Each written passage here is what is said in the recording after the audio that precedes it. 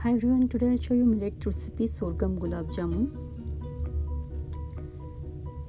Take around 2 tablespoons of uh, paneer or cottage cheese. To this add 2 tablespoons of mawa, mawa powder or you can add um, mawa or khoya. Also add 1 and half uh, tablespoon of uh, jawar or sorghum flour. mix well. Add around 2 tablespoon or 2 teaspoon of milk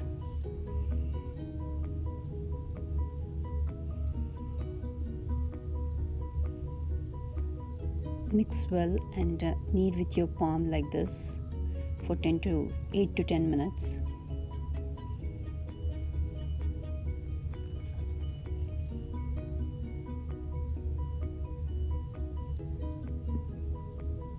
Now make round balls like this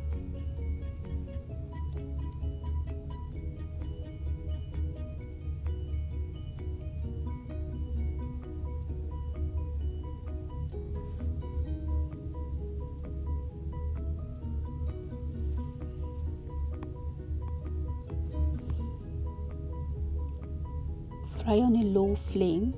Do not keep the flame high. Keep stirring like this while frying.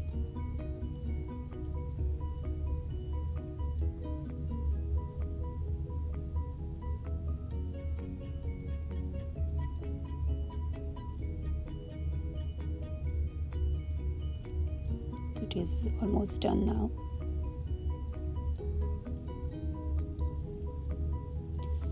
Now drop it in a thick sugar syrup, uh, no need for string consistency.